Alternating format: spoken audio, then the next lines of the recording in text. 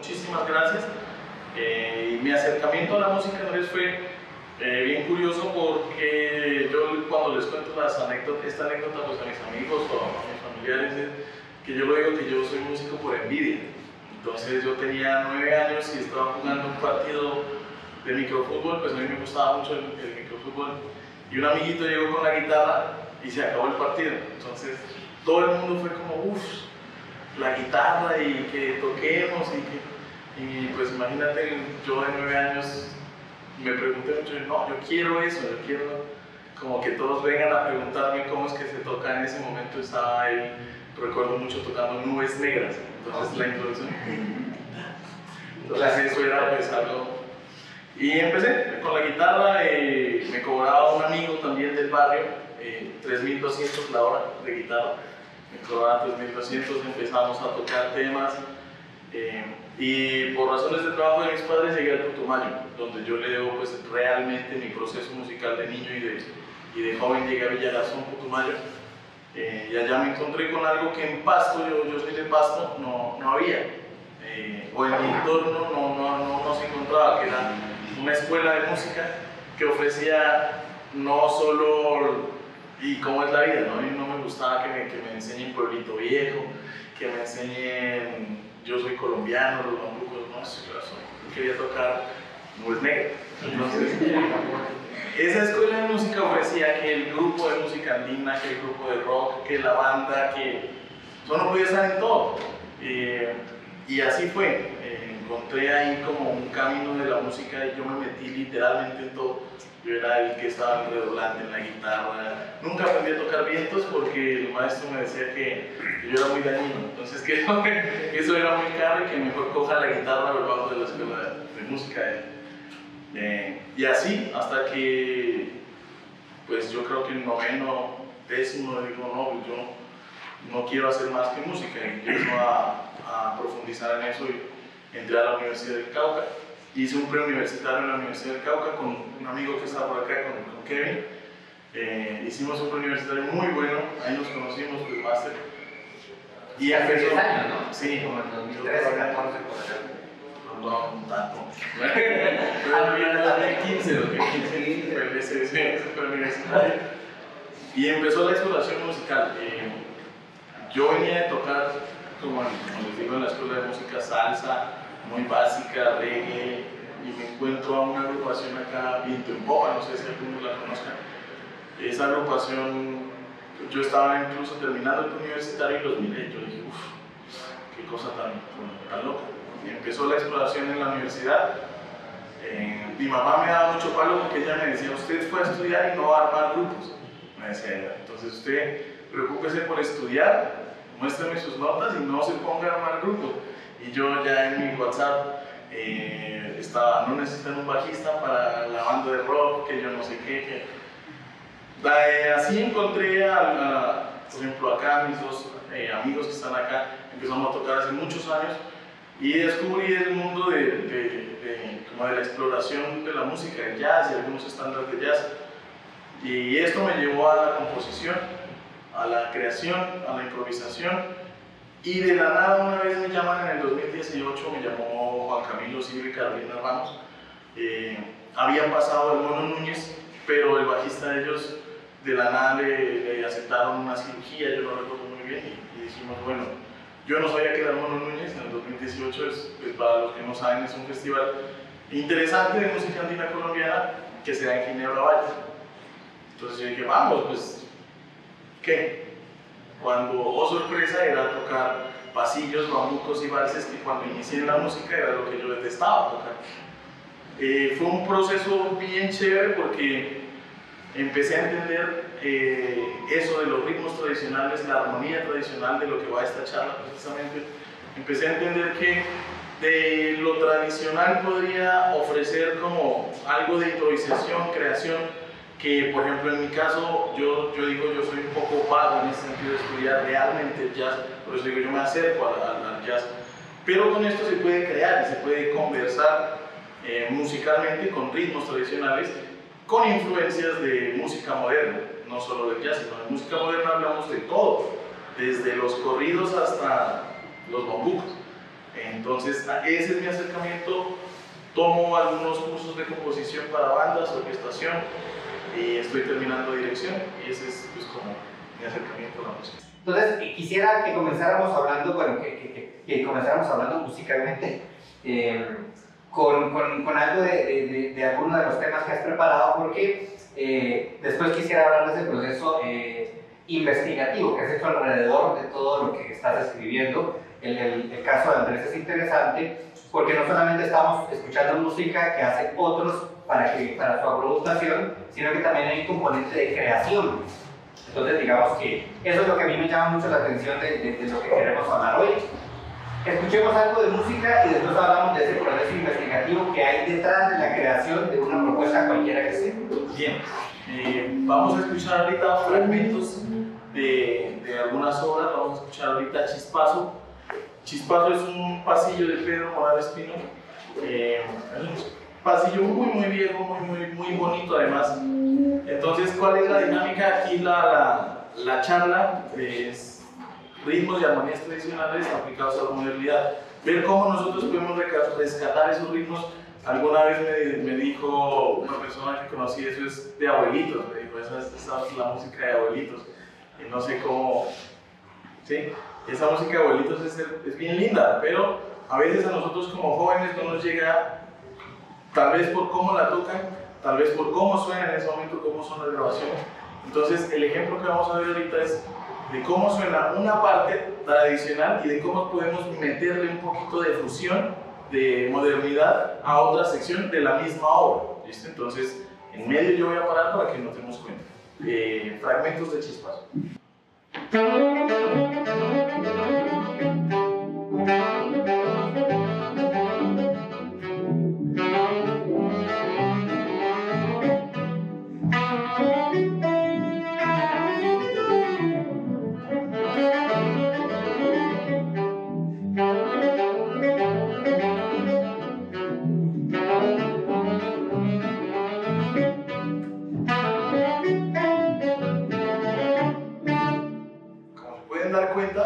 Suena tradicionalito, como si estuvieran bailando las parejas y todo. Y ahora vamos a ver la parte C de esta obra. Y ustedes me dirán, ¿qué tal? Un, dos, tres, un, dos,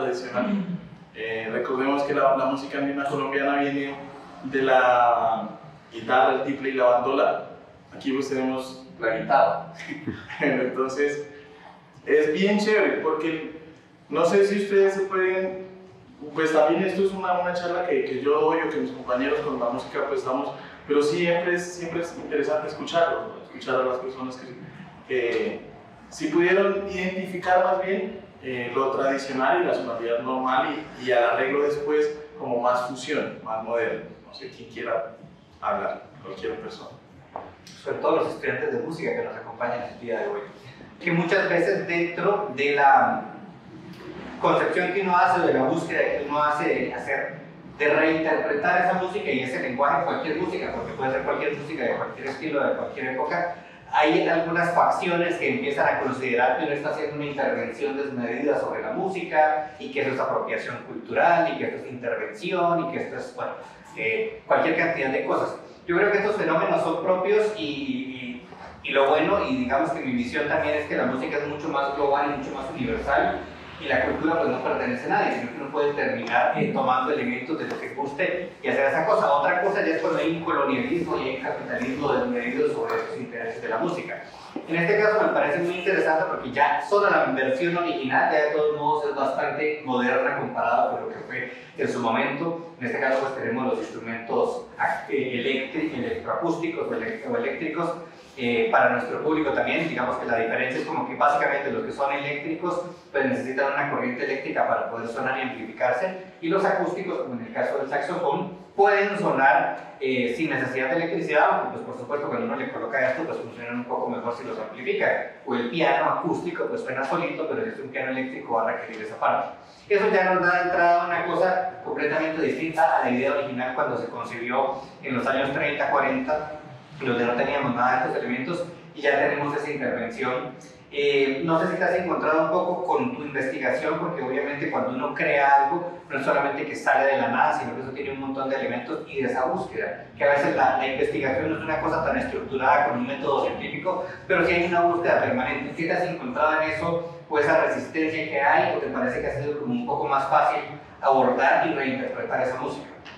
Eh, bien, el tema de la investigación es bien chévere porque uno se encuentra con cosas que uno dice, pues madre, o sea, eso que yo pensaba que era nuevo ya pasó así. Ya hace mucho hace rato, sí. sí, ya. Entonces, eh, la parte de investigación me llevó a una, a una, sorpresa y algo muy grato y es que, eh, por ejemplo, si se pueden dar cuenta, o las personas que, que me conocen, eh, yo tengo una inclinación hacia la música andina colombiana que abarca guabinas, pasillos, bambucos, torbellinos, bundes, etc. O sea, la música andina colombiana eh, es la rama que a mí me mueve, por decirlo así. Eh, las músicas tradicionales colombianas del Caribe, del Pacífico, del Atlántico, tienen una investigación increíble, pero requieren también un foco hacia esas músicas nada más. Entonces, ¿a qué voy con esto? Mi investigación ha sido hacia la música andina colombiana, mi exploración ha sido hacia la música andina colombiana, tradicional andina colombiana, y me encuentro con que los bambucos más antiguos o de los que se tienen registro aparecieron aquí en el Cauca con las chirimías tradicionales del Cauca. Y además de eso son los bambucos más complejos de interpretar, porque estos bambucos de las chirimías de aquí del Cauca, de las chirimías campesinas e indígenas, porque también encontramos chirimías urbanas, que se han dado, pues es, un, es algo que se está dando actualmente y desde hace mucho. Eh, pero campesinas indígenas tienen una forma bien particular de interpretar el bambuco y es una polirritmia increíble porque encontramos para las personas que son músicos y ahorita explico para los que no también eh, el bambuco encontramos la charrasca y los mates eh, a dos la melodía está a seis octavos la charrasca y mates a dos cuartos melodía a seis octavos y el bombo a tres cuartos. Entonces se generan unas polirritmias y para las personas que no son eh, músicos es como superponer, eh, no sé, telas que no tienen nada que ver la una con la otra en cuanto a colores, pero que cuando se juntan generan una masa preciosa. Que cuando se juntan uno dice, ¿cómo carajos es que sale esa, esa masa sonora y esa masa rítmica? Entonces, encontrándome con esa investigación, eh, yo me inclino por la, por la música instrumental, por, no porque la música vocal tenga algo negativo o lo que sea, sino pues porque no, no la manejo, entonces voy a hablarles de la música instrumental. Y me encuentro que eh, hay patrones, hay patrones muy claros en, la, en los bambucos y en, la, en, los pasillos, sobre todo, que, que es lo que yo he que uno puede tomar esos patrones y hacer fórmulas para que la composición no sea, como dices Andrés, un evento místico y una iluminación pues, de, de un ser supremo, porque puede que pase, pero, pero es difícil, pues que uno compone. Sí, pues necesitamos esperar a que llegue. si cada que uno se ilumine, no, no, va a pasar. Entonces, por ejemplo, nosotros tenemos un patrón rítmico en los bambucos eh, que le llamamos la síncopa caudal, que le llamamos, ¿no? que le llaman las personas que han teorizado eso, le llaman síncopa caudal. Y oh sorpresa, esa síncopa caudal se encuentra en el bambuco, en el curulao, en la salsa, en el son cubano. Es la misma síncopa que es la última corchea para las personas que son músicos ligadas a la primera corchea. Entonces, eh, por ejemplo, una frase de bambuco que sea taratiri, tarara, sí, sí. Esa síncopa en, en Antioquia le llaman el hipo, por ejemplo, ese es el hipo del bambuco y es esa síncopa caudal. Aquí en el, bambu, en el bambuco del Cauca, por ejemplo, eh, la síncopa caudal sí está ligada, esa corchea, en el bambuco de Huila, de, de Antioquia, es más silencio de corchea a corchea. ¿sí? Entonces, depende de, la, de, las regiones, cambia la forma de tocar ese bambuco. Cambia, por ejemplo, una vez nosotros nos fuimos, una anécdota, un paréntesis, teníamos un concurso en Pereira con Juan Camilo Ciro y Carolina, precisamente de música andina colombiana. Eh, y fuimos motivadísimos y fuimos a tocar cuando Juan Camilo hizo un golpe en el tiple que, que cuando el jurado nos, nos fue a decir, bueno, ¿cómo nos fue? Nosotros, uy, no, nos pifiamos, nos fue excelente. Cuando, qué pena, pero el tiple está haciendo gaita venezolana, no. Nosotros, gaita venezolana, ¿qué es esa vaina? Entonces, eh, nos dimos cuenta porque Juan Camilo había sacado eso del bambuco patiano, de cómo sonaba eh, el ritmo en el bambuco patiano y lo aplicó al bambuco que íbamos a llevar para allá. Entonces, claro, se timbró, sí, se timbró y dice, no, pues es que eso no es gaita venezolana, eso yo lo saqué del bambuco patiano. ¿A qué llego con esta conclusión? Que el bambuco no es absoluto, pero tiene fórmulas, tiene fórmulas sencillas de aplicar. Entonces, eh, eh, cuando nosotros tomamos eso de la investigación, la creación se vuelve más sencilla. Claro, y además que te permite tener unos criterios para decir, bueno, yo creé esto a partir de esto, sobre todo en el caso, por ejemplo, del bambuco, que es además tan ancestral, bueno, los musicólogos y los antropólogos y los etnomusicólogos han teorizado un poco más respecto al tema, parece ser que el ancestro común viene con la música africana, ¿no? Parece ser. Entonces, por eso está tan difundido, pues desde México hasta muy abajo, bueno, ya Argentina y esto no tanto, pero sí está y en toda la zona bolivariana, por así decirlo, está muy presente y hay un montón de formas de hacerlo. Entonces, es tan válido de quedarse en el Pacífico, como quedarse al norte, como quedarse dentro del país, y uno encuentra un montón de cosas, pero justamente eso le da también un valor muy interesante académico y, y artístico a poder tener esos criterios para decirnos que yo lo hago de esta manera o tal otra. Y tenemos, vamos a escuchar ahorita eh, ¿Qué vamos a escuchar? Porque no sé si vamos a escuchar Bambuco, sí, porque vamos a hablar ya de tus composiciones como tal. Ahorita estábamos escuchando algo de Pedro Morales Estilo, pero después pasamos a tu trabajo creativo. Sí, vamos a escuchar algo. Eh, yo traía la dinámica de la charla como traer fragmentos para que las personas músicos y no músicos se den cuenta cómo se puede crear y cómo se puede contrastar una creación eh, a partir de la técnica y a partir precisamente más de que no la, toda la iluminación, pero además de cómo es necesario ese factor, eh, no sé si le queramos llamar eh, espiritual, eh, yo le llamo gusto por un estilo, entonces si a mí de pronto me encanta una melodía, pues no es que sea un, un, una iluminación, sino más bien está tan metido el gusto en mí que, que puede que fluya. Entonces, ahorita, sí, vamos a escuchar eh, una obra que se llama Despedidas, vamos a escuchar un fragmento de, de esta obra. Bueno, dos fragmentos, y aquí el, el énfasis en este el ejercicio es cómo puedo yo tener dos partes que son lo mismo y cómo puedo darle contraste. Entonces, ya vamos a hablar de composición. Yo no sé, eh, ¿qué pena pueden levantar las personas que son músicos la mano? Eso sí, tranquilos. Quédate la mano. Sí, pues para hacer una idea y, y hablar eh, como un poco de, del tema y, y, las personas que no son músicos pues también que podamos entender de lo que estamos hablando. Entonces, para los músicos y para los dos músicos, eh, siempre en la composición, sea de música andina colombiana, sea de música clásica, sea de pop, rock, lo que sea, hay un principio básico que es el contraste. Y no solo es en la música, es en todo en la vida. Y en el arte, sí, y en el arte un principio básico es el contraste. Ahora, nosotros tenemos herramientas o no para generar contraste. Entonces, voy a hablar de dos herramientas eh, bien chéveres y sencillas de aplicar musicalmente para que podamos generar contraste. Y estas herramientas son armónicas. Ustedes eh, saben qué es un segundo quinto, por ejemplo, en armonía. Eh, ¿Quién ya vio armonía? Pues?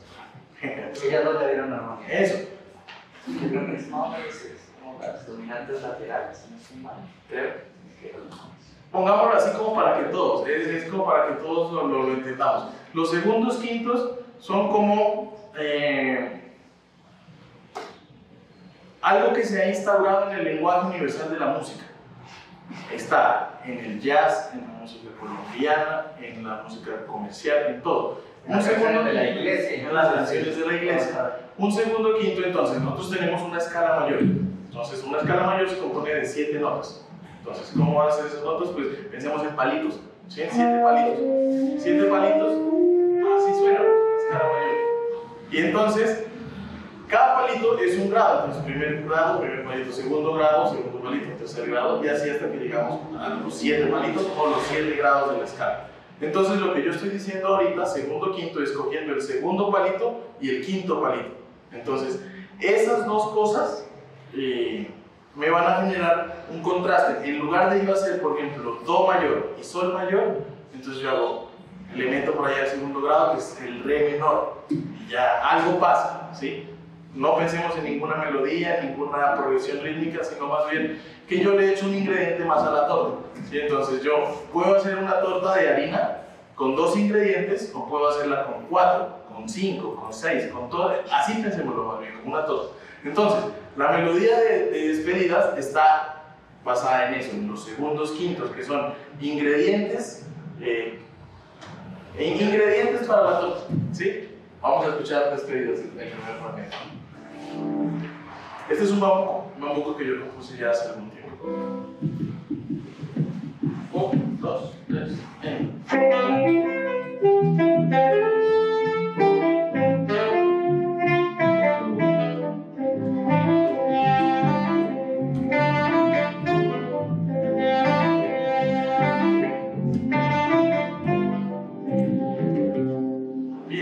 esa es la primera parte y esa es normalita. Ahora, hay un punto clave para generar contraste en la segunda parte que es literalmente lo mismo y lo único que cambio es una nota de la melodía y un acorde. Entonces, lo que voy a hacer es cambiar ingredientes de la torta. La, el principio de la melodía suena de la siguiente manera en la primera parte. Y ahora, lo que viene suena de esta manera. Cambia un poco. Y en la armonía, la primera parte suena de esta manera. E.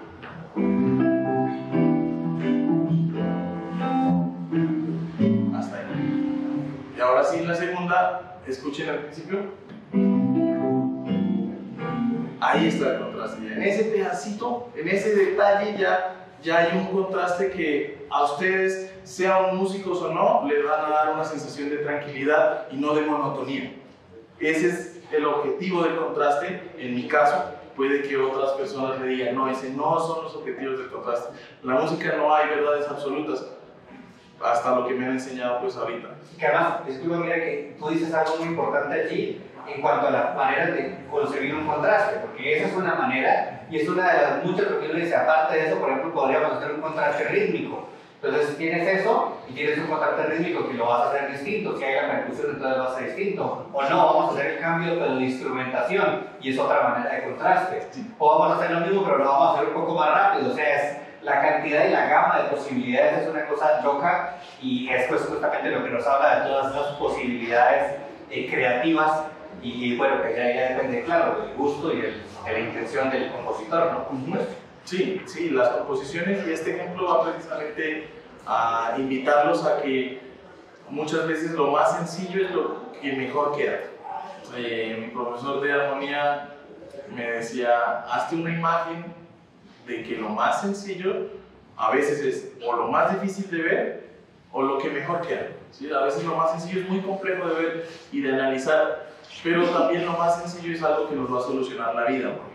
Y aquí viene, aquí viene otra parte de la composición y los arreglos que, que abarca también la investigación y ahorita vamos a escuchar un poco de esto que es el, el sotareño.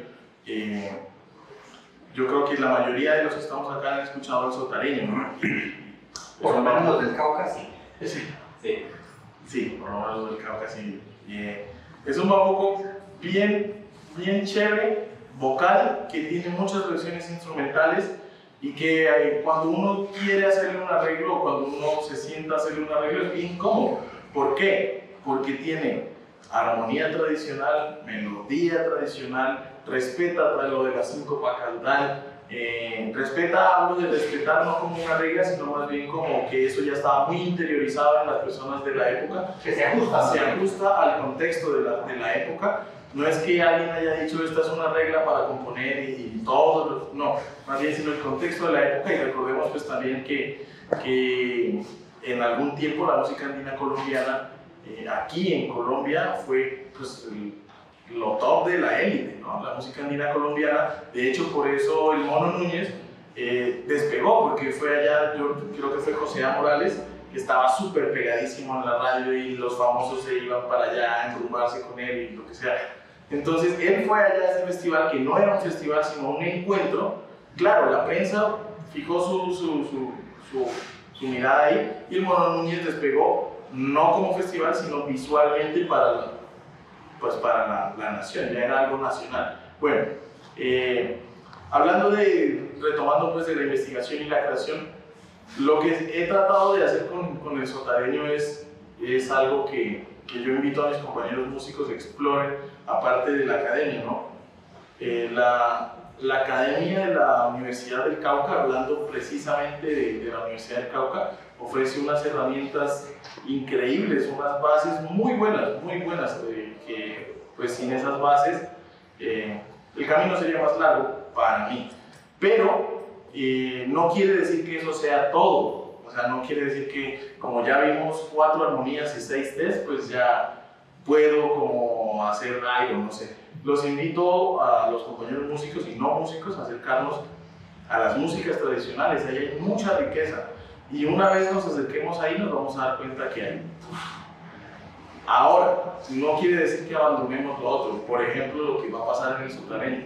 El sotareño es un bambuco a 6 octavos, pero en este arreglo que yo le he hecho vamos a encontrar 7 eh, octavos, 5 cuartos, 5 octavos y por supuesto el 6 octavos.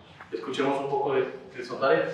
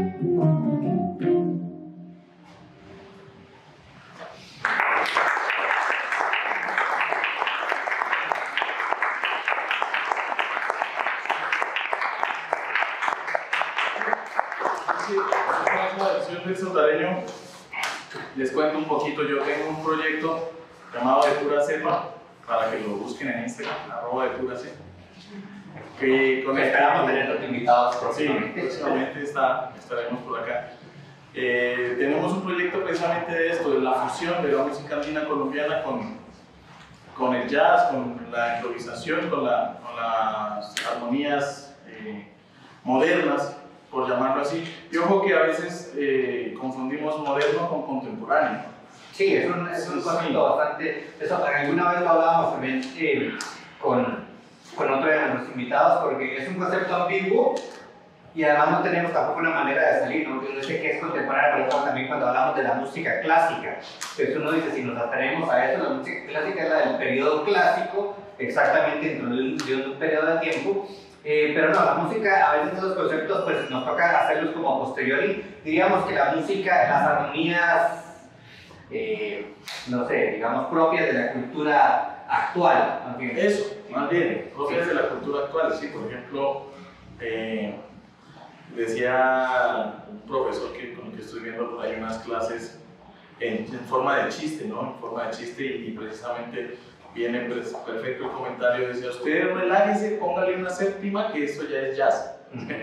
Entonces, póngale una séptima al acorde que tranquilo, que eso ya es jazz. Eh, para las personas que no, no son músicos, pues es como, ah, relájese, póngale ahí cualquier cosita, ahí, un adorno y sale. pero, pero no, o sea, él lo decía en chiste, refiriéndose que ahora no es que solo la, armonía y los temas de cualquier género sean con las triadas, ¿no? Do, mi, sol. No, ya la armonía se enriquece un poquito y enriquecemos más la torta del pastel metiéndole más ingredientes, metiéndole más, más veneno, le decimos nosotros a veces como, como músicos. Eh, y este conocimiento armónico se, se, se, fundamenta en lo que aprendemos en la U, ¿no? lo que les decía hace rato. Las funciones tonales para las personas que son son básicas para los arreglos, y estamos, pues ya que estamos hablando parte de composición y arreglos un poquito, eh, pues tener en cuenta eso, las funciones tonales es muchísimo. Eh, y pues ahora ya pues como dando un giro y, mostrando ya lo que hemos hecho con eh, la música colombiana lo que yo he tratado de hacer pues con los arreglos y la música colombiana, eh, como se han podido dar cuenta, pues ha ido de lo tradicional, la primera parte de chispazo, despedidas, es algo muy tradicional todavía, hasta esto del sotareño, que ya es una cosa loca, es loca entre comillas, porque hay unas versiones muy chéveres. Este sotareño, eh, tuvimos la, la, casualidad y la fortuna de ir con, con, mi, con mi, agrupación pues, de Pura Cepa a Cajicá, a un festival de música andina colombiana. Y, llevamos esto para la final, todos los grupos muy buenos, muy buenos. Y afortunadamente gustó allá y ganamos, tuvimos el primer puesto, pero entonces eh, lo chévere fue que, nos, la invitación es a que sigamos explorando esta forma de hacer música andina colombiana eh, y pues explorar, explorar mucho. Entonces, ahorita ya que les he hablado tanta carreta pues, como del jazz y de la música colombiana, ya para finalizar la muestra musical, eh, de, los ejercicios que se, que se hace con el jazz, vamos a ver más adelante, para que se hagan una imagen, como decía el profesor, de esa mezcla entre lo tradicional y el jazz. Dentro del trabajo que, que hace nuestro querido invitado y que además tiene a su vez sus invitados que hacen parte de esta agrupación, es esta nueva mm, onda, lo, lo que decías hace un rato, ¿no? el, el jazz y ya toda la armonía actual está permeada por eso. Entonces ya sabemos que por allí no es la innovación, ya eso está hecho, ya se viene haciendo hace mucho rato. Entonces buscamos otras maneras de seguir haciendo novedoso lo que ya está hecho. Este, ese proceso de fusión me parece muy interesante, sobre todo en nuestra época, que no sé si somos afortunados o no, de tener tanto acceso a la información de todas partes. Entonces nos llega jazz, y, por ejemplo nos llega jazz de gente que hace jazz en Rusia, y uno dice, pero Rusia es la antítesis de, de lo americano, eh, que es los creadores del jazz, pero aún así hay gente muy buena haciendo jazz allá, y hay por ejemplo música africana que ya tiene la influencia del jazz, y hay un montón de, de áreas, la música gospel, por ejemplo, las personas que están vinculadas con eh, instituciones eh, cristianas o católicas, todo eso ya está allí. Entonces, qué interesante ver que seguimos encontrando nuevas maneras de hacer con esta fusión, estamos tomando esos dos elementos, y pues el trabajo que ustedes están haciendo. para, para cerrar y que nuestro público oiga, bueno, primero vamos a escuchar algo de los ejercicios que ustedes hacen. No sé si tienes alguno de tus temas propios para después de los ejercicios, o si no, Sí, el que vamos a escuchar al final es un tema propio. Ah, bueno, y el que toca, el que estuvo de segundo que se llamaba... Despedidas. Ah, bueno, sí, sí lo pueden, porque a mí me pareció muy interesante, sería chévere terminando de escuchar. Pero bueno, nos sigue con Eh, su... sí, yo les hablo de despedidas rápidamente para como responderle aquí al máster. Ese tema es súper largo, es una, una, una fantasía que yo escribí. Fantasía es una forma de componer, no es que yo haya tenido pues, como una.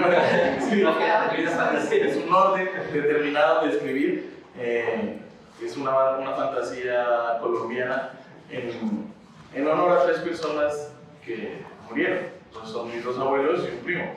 Hay tres danzas. eh, está un bambuco que, que representa el carácter de mi abuelo.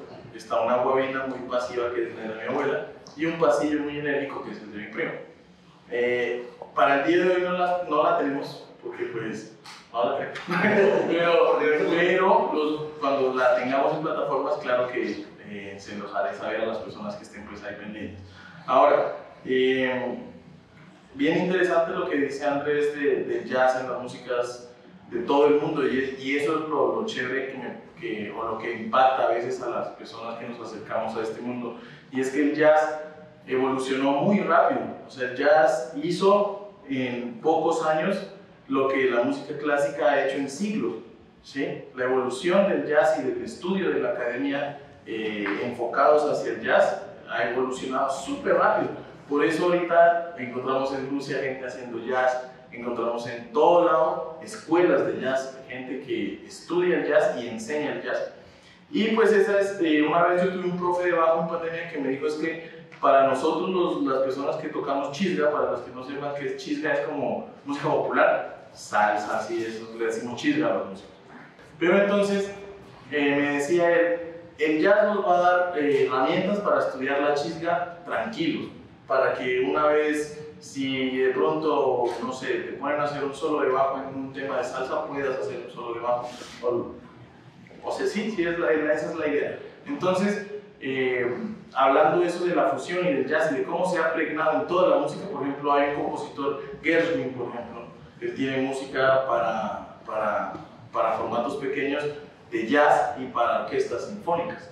Por ejemplo, ya es algo, yo creo que ahorita ya dividir incluso la música ya es, es, es ilógico, porque nosotros ya estamos permeados de, de lo que decía Andrés, que es información.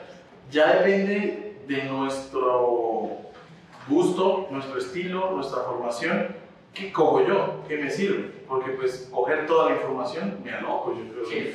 Sí, yo por ejemplo que soy una persona muy joven, eh, pues me he dado cuenta que, que la información a veces satura.